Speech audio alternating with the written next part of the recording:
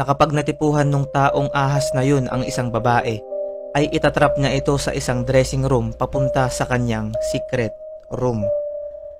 Ayon sa kwento, ay nagsisilbi itong lucky charm o swerte sa Gokong Wei family na nagmamay-ari ng Robinson's Galleria. Ayon sa kwento, ay ang taong ahas na to ay kakambal ni Robina Gokong Wei na anak ni John Gokong Wei Jr., isa sa mga founder ng Robinson's Mall. At gaya nga ng sabi ko kanina, ang ahas na to ay ang nagsisilbing swerte ng Gokong Wei family dahil nangingitlog daw ito ng mga ginto na dahilan ng kanilang pagyaman.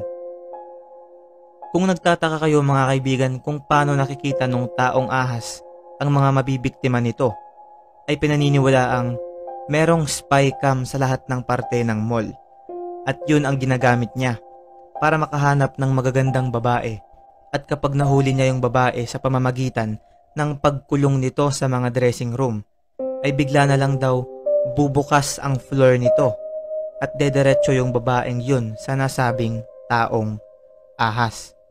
At kapag nahuli niya na ito, ay kakainin niya yung babae o di kaya'y paglalaroan niya lang ito.